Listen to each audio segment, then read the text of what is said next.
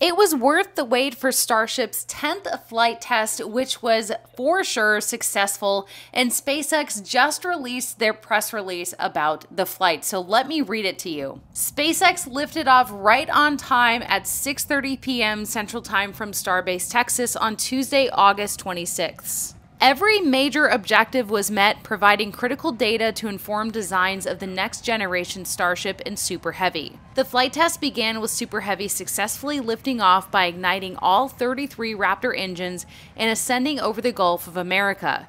Successful ascent was followed by a hot staging maneuver with Starship's upper stage igniting its six Raptor engines to separate from Super Heavy and continue the flight to space. Following stage separation, the Super Heavy booster completed its boost back burn to put it on a course to a pre planned splashdown zone. The booster descended and successfully initiated its landing burn, intentionally disabling one of its three center engines during the final phases of the burn and using a backup engine from the middle ring.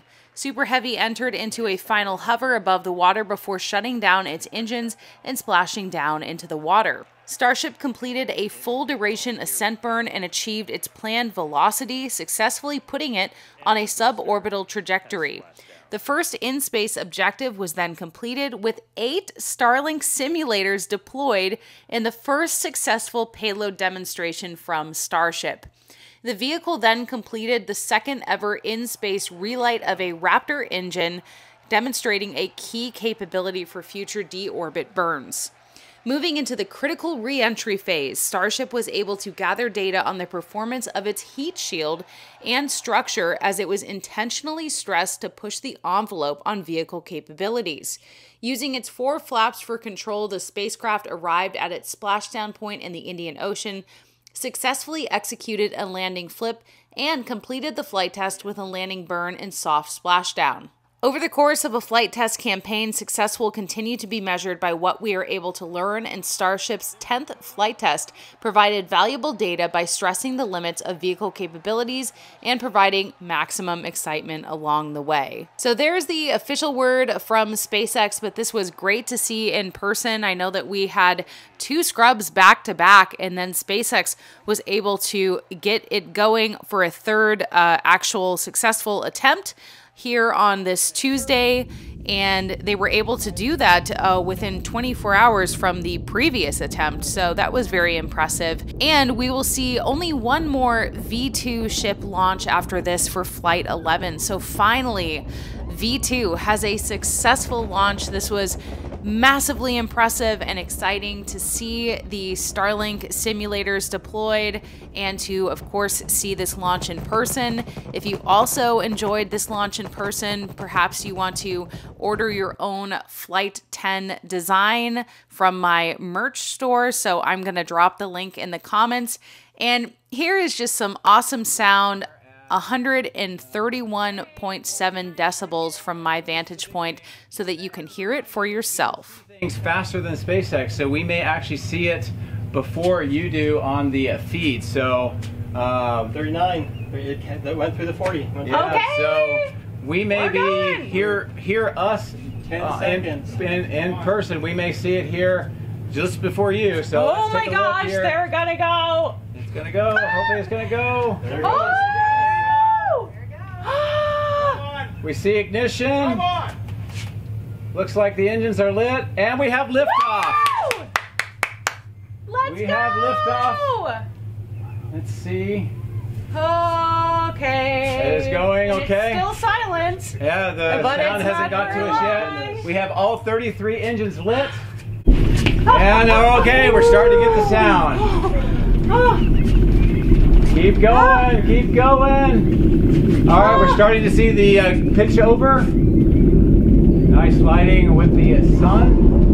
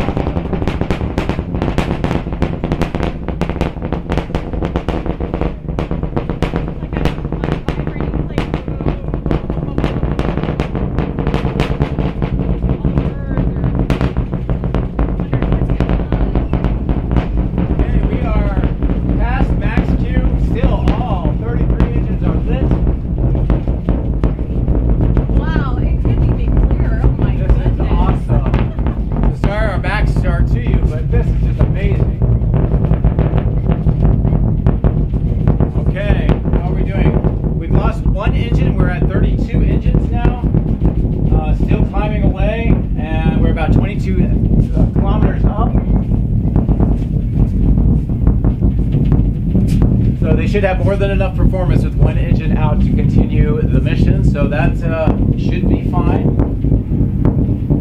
We're coming up on two minutes, and uh, we should start seeing um, in about 20 seconds. We should see MECO, ghost engine cutoff. So that is proceeding on the way up, and we'll take a look at what happens with that uh, shutdown. So it should be any moment now from our perspective. There it goes. Yes, come on. Come on. We see ignition. Come on. Looks like the engines are lit, and we have liftoff. Let's We go! have liftoff. Let's see. Okay. It is going And okay. It's still silent. Yeah, Look at that thing. Oh my goodness. We have all 33 engines lit. Okay, we're starting to. Keep going, keep going. All right, we're starting to see the uh, pitch over.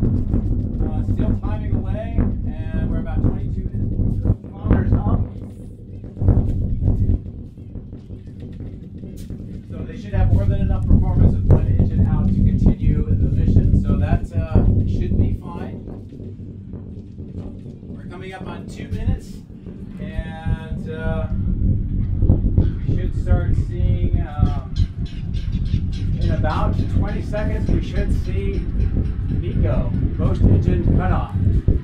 So that is proceeding all the way up, and we'll take a look at what happens with that uh, shutdown.